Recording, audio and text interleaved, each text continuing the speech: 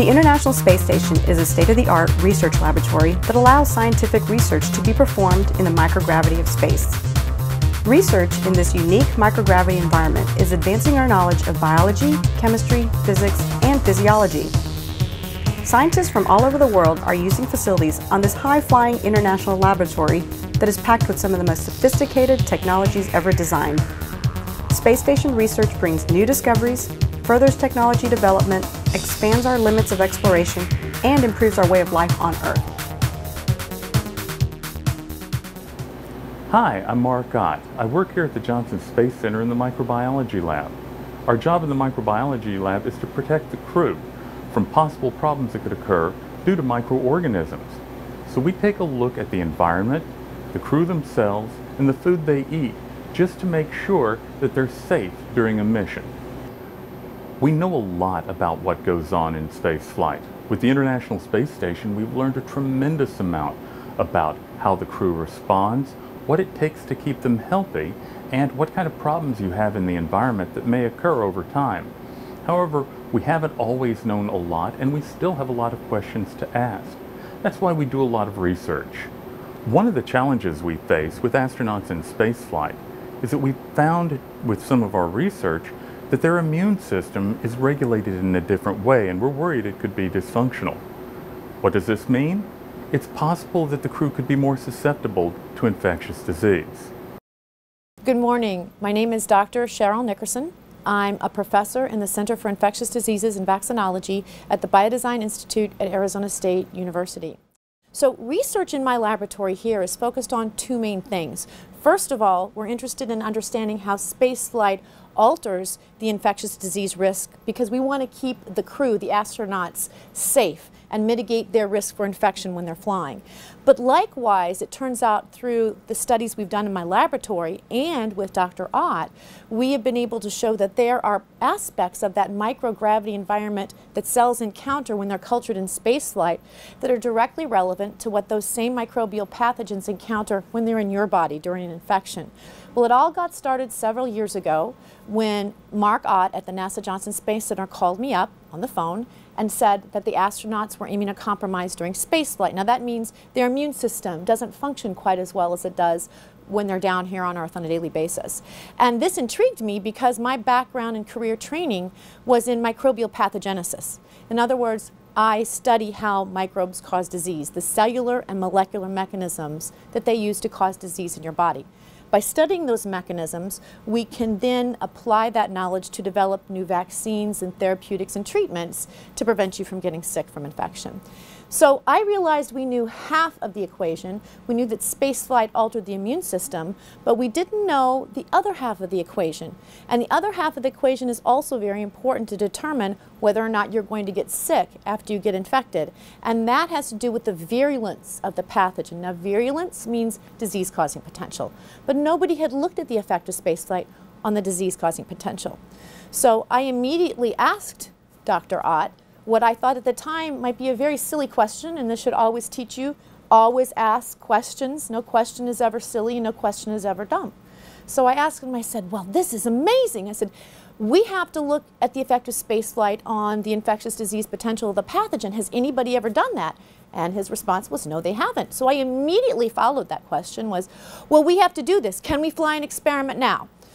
That was my naivete because I didn't realize you had to go through a very long series of ground-based studies to validate that you really needed to use the spaceflight experiment to, to address your potential question. I said, okay, until we can fly, is there some way that we can mimic some system that we can use to mimic, to culture these bacterial cells here in the laboratory on Earth under conditions which, which mimic spaceflight.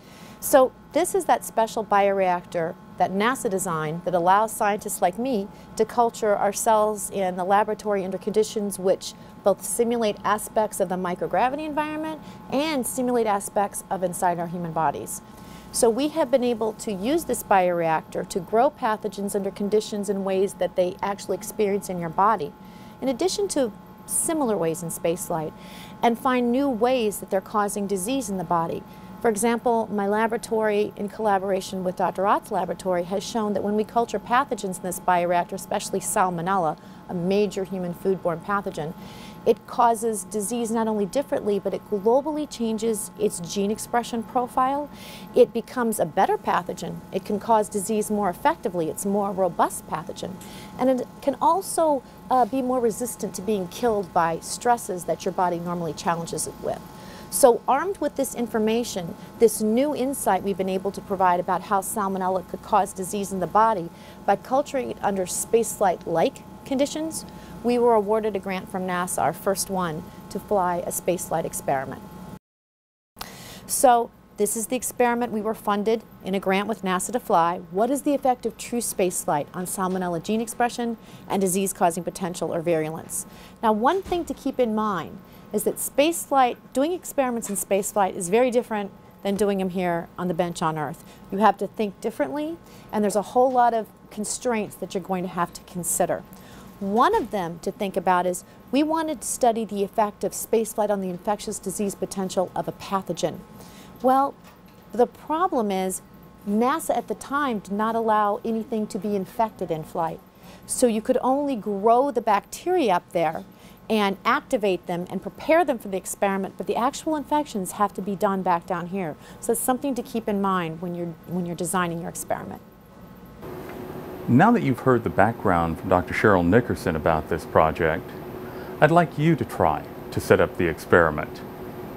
And what would your hypothesis be?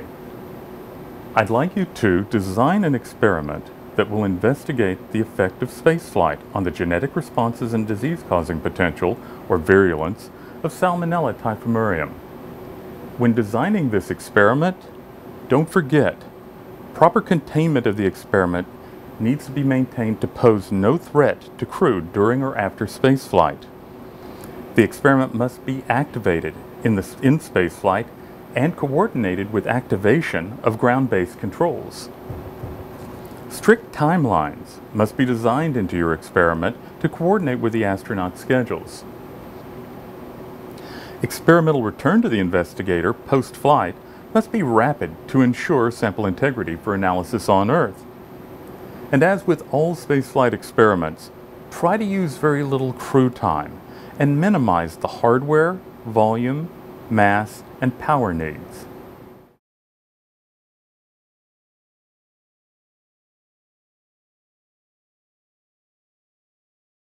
So, the hypothesis of this experiment is that spaceflight will affect gene expression and virulence of Salmonella typhimurium. You were given a series of constraints that you had to give careful consideration to in designing your experiment. Proper containment of the experiment to pose no threat to the crew during spaceflight. Our hardware, or the containers that we used to fly this experiment that would actually activate the work in space, had to have what we call triple levels of containment so that there were three barriers between the crew who were performing the experiment and them ever having any risk of it coming into contact with it. The experiment has to be activated in spaceflight and coordinated with activation of ground-based controls. My entire team was at the Kennedy Space Flight Center, and that's where we prepared the experiment and we prepared two duplicate sets of it. We had two identical sets of our flight hardware, and we loaded them at the same exact time with all reagents, including our strain of salmonella, um, the fixative reagents, which would be for gene expression, and then the growth medium and everybody was loaded at the same time, and half of that hardware flew and the other half stayed on the ground. For the timing to activate the experiment, we were linked in real time with the astronauts. So when the astronauts were activating our experiment on orbit, they called down to us. We were in that room at the same time, and we activated and did everything to our controls in that special room at the same time that they did on orbit. Strict timelines must be designed in your experiment to coordinate with the astronaut schedules. So you have to design a, a spaceflight experiment and your biological system has to be adaptable and, and your experiment can't fail if it's performed a little bit outside of the timeline of what would be ideal. So you have to tell the crew, I want my experiment to be activated at this time, but I can take this much time ahead or behind it. So plus or minus a certain number of hours or minutes that you can allow for your experiment. The experiment is returned to the investigator post-flight. It has to be returned to us very rapidly to ensure two things, sample integrity for Earth and also that the bacteria are, are not readapting to being back in Earth's gravity. Because we were testing two things. Remember, our, our hypothesis is that spaceflight affects gene expression and it affects, virulence. So two things happen to our samples on orbit and obviously on the ground as well. Half of the samples after the bacteria were activated for growth, they grew to a certain period of time and then the astronauts terminated that half of the experiment. They fixed it with a chemical to preserve the, the, uh, the experiment for gene expression analysis. The other half of the bacteria for virulence, that half of the bacterium after they were growing, they were brought back live. So as soon as the shuttle landed, we had a, a special requirement for what we call first off which means that after the crew comes off the shuttle, our experiment is unloaded immediately. And then we had to try to use very little crew time. So astronaut time is incredibly valuable and you don't get very much of it. So you either have to work with hardware that's fully automated or you have to design your experiment so that the crew has minimal amount of, of time that they have to invest in doing your experiment. Although I will say the crew is awesome. The astronauts always want to give extra time to do science. Your experiment has to be designed to minimize hardware volume, minimize mass, and power needs. You need to really minimize the amount of volume that you're sending up in flight, and that can pose a challenge for your downstream analysis of your samples because you have to have enough volume to get enough sample to be analyzed for both gene expression and virulence. You obviously have to minimize mass because size constraints matter. You want to fly sm as small volumes as possible. And power needs because most of the power has to go to run the shuttle. So we were very fortunate that our experiments could fly just at ambient or room temperature and the bacterial cells would be fine. And we actually had the astronauts performing manually our experiments for us, so we didn't need the hardware to be uh, as much of a power drain to the shuttle. So what did we find from our spaceflight experiment with Salmonella? Well, we found that spaceflight uniquely increased the virulence of this pathogen, and it also globally changed its gene expression profile. And the unique part of the change in gene expression profile is that the genes that were being turned on and off weren't being turned on and off in a manner that would be consistent with salmonella actually being more virulent, actually being able to cause disease better. So what this taught us is that salmonella is causing disease in a different manner than we can detect when we grow it conventionally on ground when we fly it at microgravity. So greatly removing the force of gravity unveiled new ways that salmonella is causing disease in our body.